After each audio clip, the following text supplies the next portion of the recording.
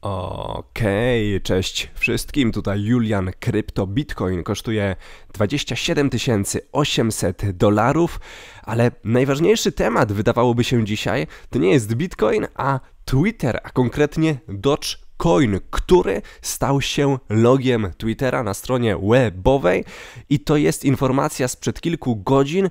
Ta informacja już obiegła świat do, tej, mm, do tego stopnia, że Dogecoin wzrósł o ponad 20%. Konkretniej i szerzej omawiam to na swoim kanale Julian Crypto, także koniecznie sprawdźcie tę analizę. Natomiast przeanalizujmy na samym początku newsy i kryptoraport. Raport, jeżeli będziecie korzystać z tych narzędzi Max Data App, to z linku poniżej od kryptoraportu jest 10 dni za free. CEO Binance jest prawdopodobnie e, są podejrzenia, że Interpol wydał czerwoną notę za CEO Binance'u, co spowodowało spadek BNB o ponad 3%. To są wyniki niedawnej sprawy sądowej CFTC przeciwko Binance i CZ za unikanie amerykańskich przepisów, co wywołało obawy przed ewentualnymi zarzutami karnymi. Takie informacje możemy przeczytać na Max Data App News. Kolejne podsumowania czytamy.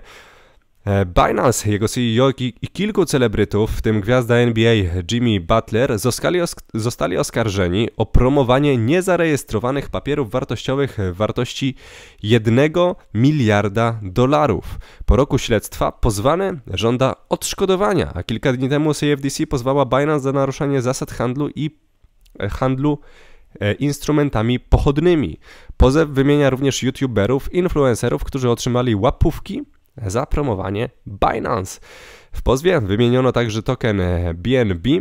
Rosnące zainteresowanie organów ścigania wobec Binance może wpływać na rynek kryptowalut. Te podsumowania, które Wam czytam swoją drogą, to są podsumowania e, generowane przez czat GPT. E, nasze algorytmy Max Data e, wchodzą bezpośrednio na stronę, analizują ją i podsumowują treści artykułów. Logo Twittera, no właśnie, logo Twittera zostało zastąpione logiem Dogecoina co skutkowało wzrostem ceny o 20%. Elon Musk, który wcześniej wspierał Dogecoina, tu jest napisane, że do tej pory tego nie skomentował, ale już to skomentował i skomentował to w taki sposób następujący. E, wcześniej, jeszcze rok temu, e, była rozmowa na Twitterze Is a new platform needed? Czy jest potrzebna jakaś nowa platforma? Chairman odpowiedział, że just buy a Twitter, po prostu kup Twitter and change the bird logo to Dodge i zmień logo ptaka na logo psa. Elon Musk napisał, że to by było chore, a teraz skomentował 4 godziny temu, no cóż, tak jak obiecałem, as promised. I właśnie to się stało. E, lecimy dalej. Senator Warren antykrypto armia senator Warren to początek polityzacji kryptowalut. I czytamy, kryptowaluty stają się coraz bardziej polityczne, ponieważ politycy zajmują stanowiska w sprawie CBDC oraz bitcoina. Republikańscy politycy przedstawili ustawę zakazującą korzystania z CBDC, podczas gdy demokratyczna senator Elizabeth Warren utworzyła antykryptoarmię. Nadchodzące wybory w USA prawdopodobnie spowodują, że CBDC staną się kwestią czerwono-niebieską, z konserwatystami sprzeciwiającymi się e, im z obawy przed nadzorem rządu, a liberałami popierającymi je jako środek zapobiegający praniu pieniędzy. Wykorzystanie bitcoina stanie się, stanie się również kwestią polityczną, a niektórzy uważają, że go za antyamerykański ze względu na wykluczenie z systemu bankowego i dolara. To są podsumowania z GPT. Kolejne podsumowanie, jak czytamy na Max Data App News, to jest potencjalna zmiana polityki Fed. Potencjalna zmiana polityki Fed może stworzyć warunki sprzyjające na rynku z pozytywnym wpływem na akcje złota i Bitcoina. Cięcie stóp procentowych zwiększy płynność rynku. Złoto oraz Bitcoin mają skorzystać z ujemnych realnych stóp procentowych. E, Bitcoin może zyskać również na kryzysie bankowym. Ja to wszystko oczywiście omawiam codziennie na swoim kanale Julian Crypto, także tutaj analizy na temat USA, na temat e, polityki pieniężnej codziennie są dodawane. A teraz przechodzimy już do analizy danych on-chain i danych giełdowych. Na samym początku Max Order Book, e, gdzie widzimy opór na poziomie 28 tysięcy dolarów. To jest ściana sprzedażowa, a wsparcia niewielkie na poziomie około 27 570 dolarów, a następnie na poziomie 27 tysięcy, ale te ściany nie są duże. Dodam, że czasami ściany na Max Order potrafią być znacznie, znacznie wyraźniejsze.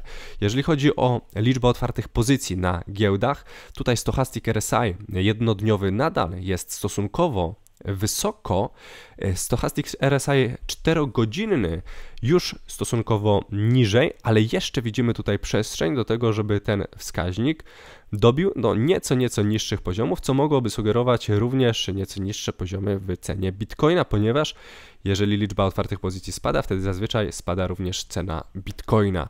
Dodatkowo funding rates, czyli stopy finansowania, które pokazywały nam bardzo niskie poziomy w momentach spadku Bitcoina, co komentowałem na swoim kanale, również na tym kanale komentowałem to, to nadal czekamy tutaj na potencjalne wybicie albo w jedną, albo w drugą stronę tych właśnie funding ratesów, czyli takiego sygnału z rynku, który by pokazał nam, że tak, rynek gra teraz bardzo, bardzo mocno na spadki, co by dało nam znać, że no skoro grają tak mocno na spadki, to być może warto od nich kupić tanie aktywo. Jeżeli z drugiej strony grają bardzo mocno na wzrosty, to być może warto im sprzedać drogie, drogie aktywa, ale teraz nie grają ani mocno na spadki, ani mocno na wzrosty, po prostu tutaj jest to zrównoważone, także czekamy cały czas.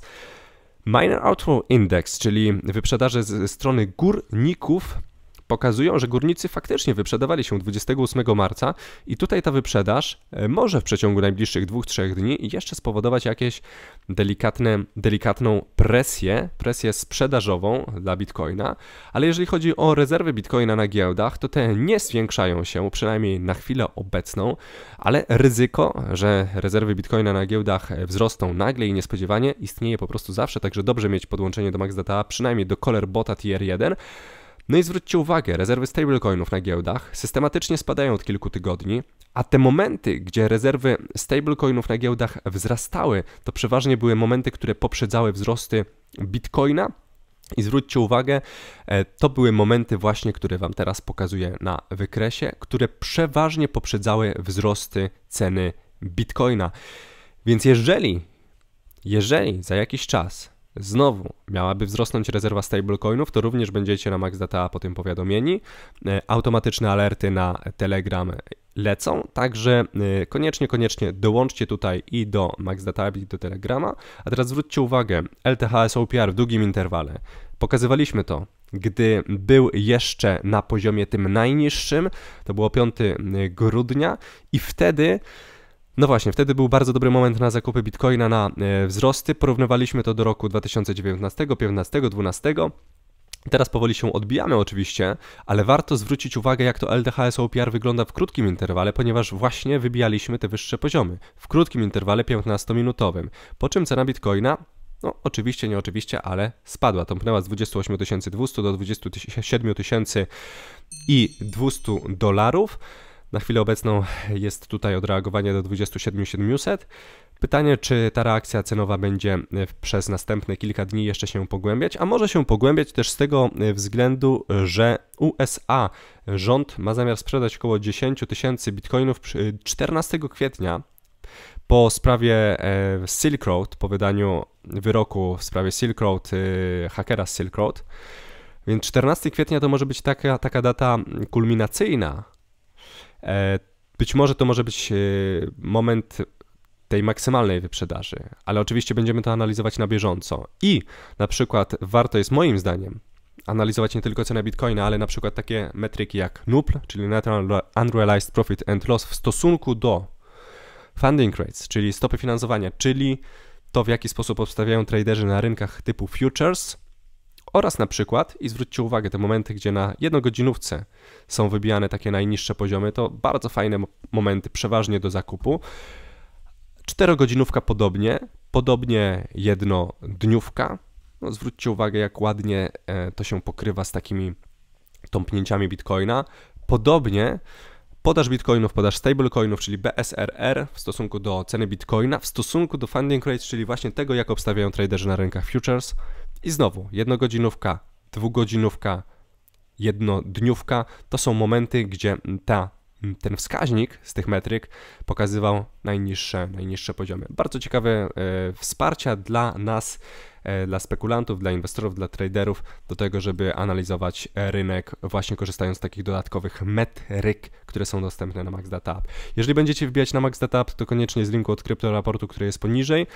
No i dodatkowo, jeżeli wbijecie, to możecie dołączyć do Telegrama, który jest całkowicie otwarty, możecie to zrobić za pomocą jednego kliknięcia, a na Telegramie dodaje, dostajecie codzienne powiadomienia, newsy, update on-chain, a także e, codzienne live streamy na temat analizy on-chain. Wszystkiego dobrego, trzymajcie się i niech Hossa będzie z nami. Cześć!